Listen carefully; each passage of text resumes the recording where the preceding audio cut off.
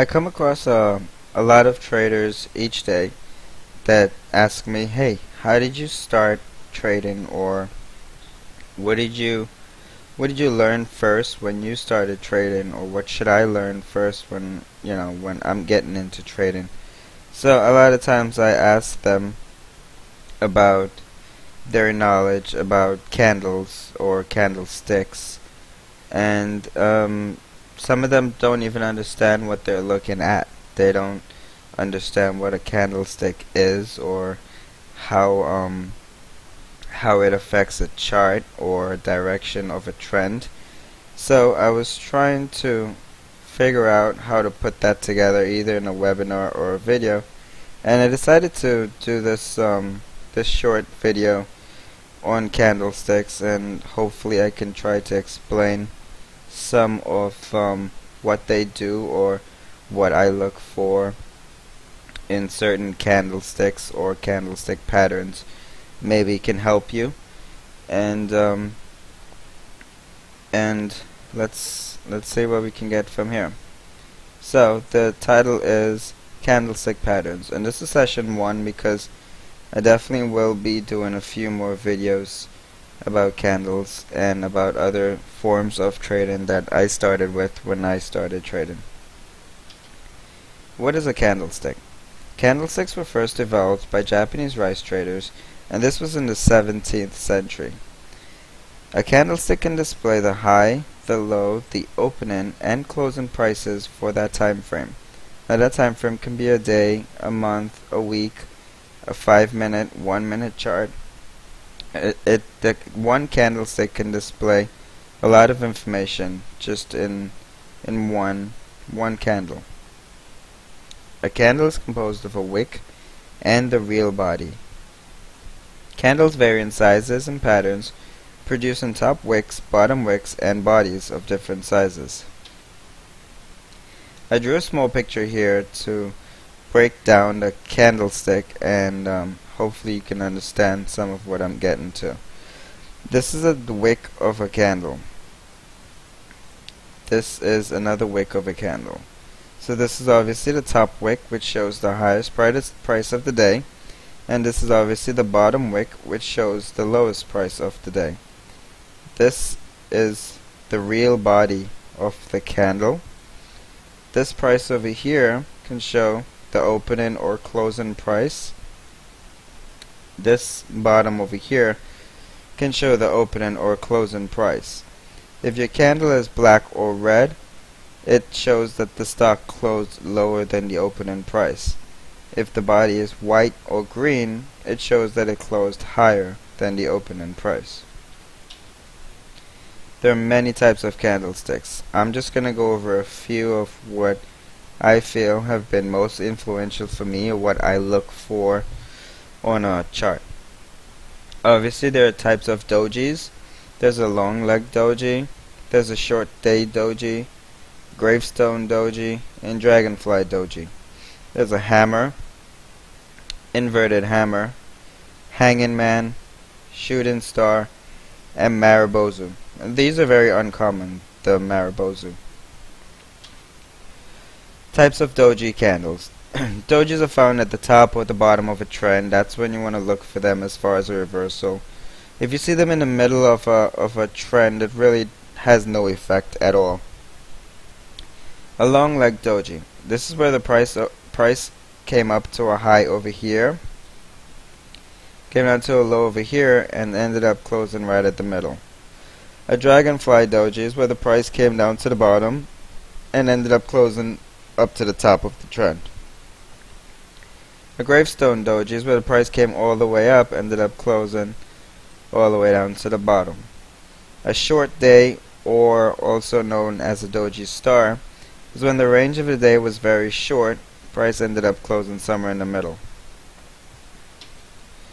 A hammer. Now the hammer candlestick can be found at the bottom of a bottom of a trend to signal a reversal. A hammer looks like this with a long wick and the price action closes at the top. Another example of a hammer even though the wick protruded over here a little bit, it's still a hammer. Inverted hammer is obviously found at the bottom of a trend, also to signal a reversal. Inverted hammer, the wick protrudes a little bit, still an inverted hammer. A hanging man. Hanging man, or you look for these at the top of a chart to signal a trend change. Shooting star. Found at the top of a trend, also signaling a trend change. Marubozus. These can be green or red Marubozu. A Marubozu is basically a solid candle without a wick or with a very little wick. Showing price opened over here and the buyers were all the way up to the top to the close of the candle. A red Marubozu shows the price opens here and there were sellers all the way down to the close of that time frame candle. Candlestick formations. Now we went over candlesticks individually, so now we have to go over candlesticks formations uh, with a grouping of candles and see how they form a pattern to help you decide a trend or a trend change. Now there are different types of uh, candlestick formations I obviously picked a few of them that are most influential for me.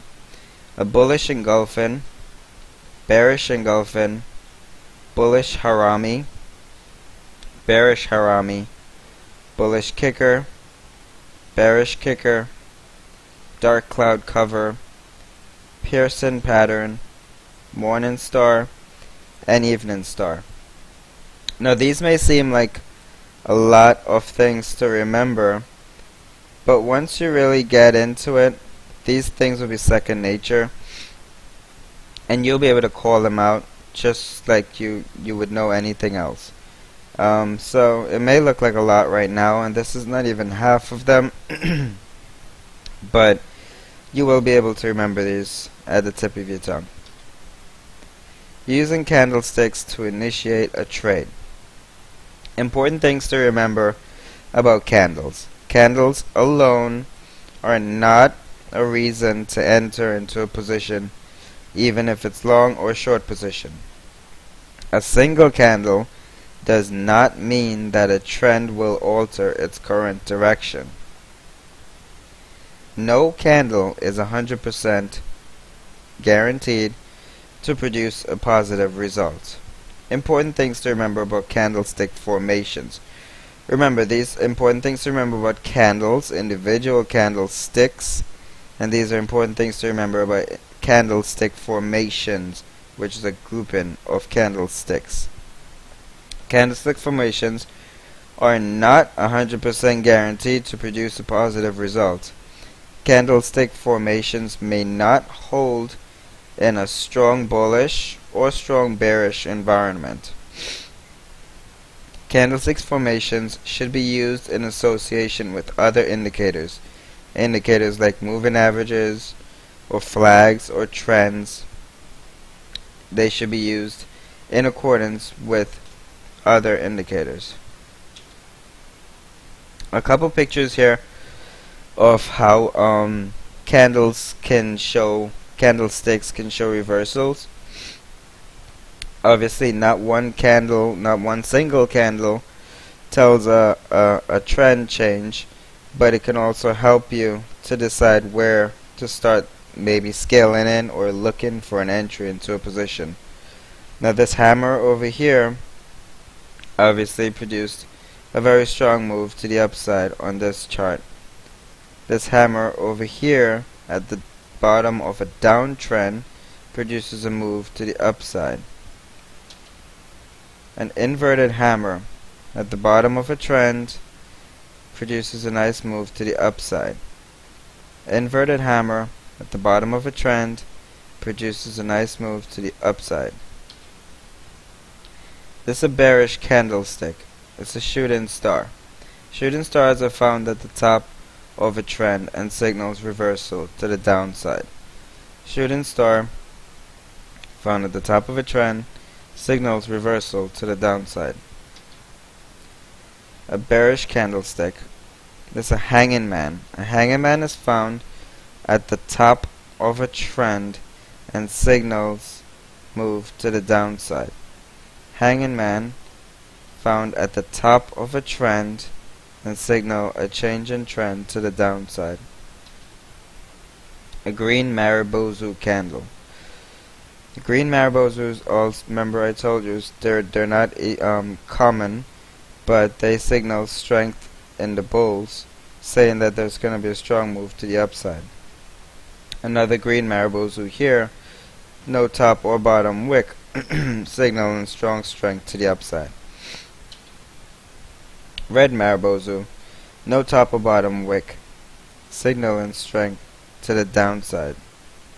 Red Marubozu, signaling trend to the downside.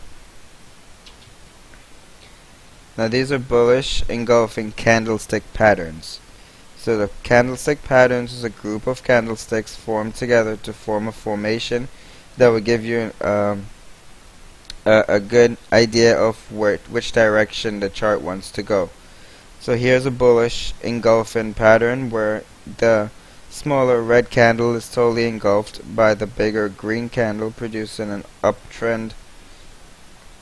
Similar over here where the the red candle is completely engulfed by the green candle and it produces a move to the upside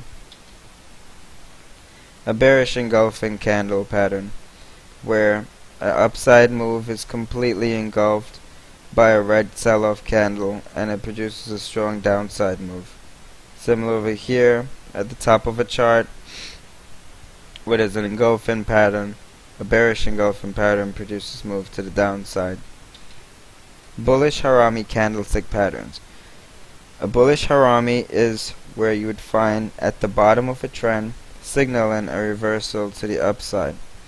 The bullish harami is also known as a pregnant lady because it looks like a pregnant woman with this is the body and this would be the belly of the of the pregnant woman.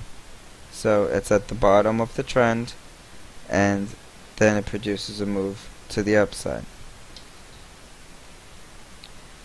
A bearish harami is obviously the reversal where you have a, a trend to the upside and then you'd find that pregnant lady up at the top. Signal and trend to the downside. Another bearish harami here, signaling move to the downside. Morning star candlestick patterns. A morning star is found at the bottom. It's basically a doji surrounded by two other dojis gapped up on either side, and it signals a reversal to the upside.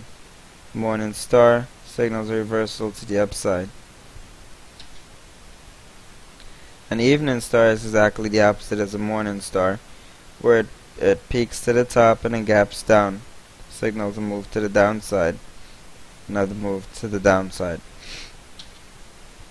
piercing candle patterns. A piercing pattern is where a, a price opens under and comes up more than halfway of the other of the previous candle, producing an upside move. Opens under, comes up more than halfway of the previous candle, producing an upside move. A dark cloud cover is the same as the exact opposite of a piercing, where it opens above and covers more than half of the previous candle, producing a downside move where it opens above, comes down more than halfway, produces a downside move. Now, that was just a basic layout of candles and candlestick patterns.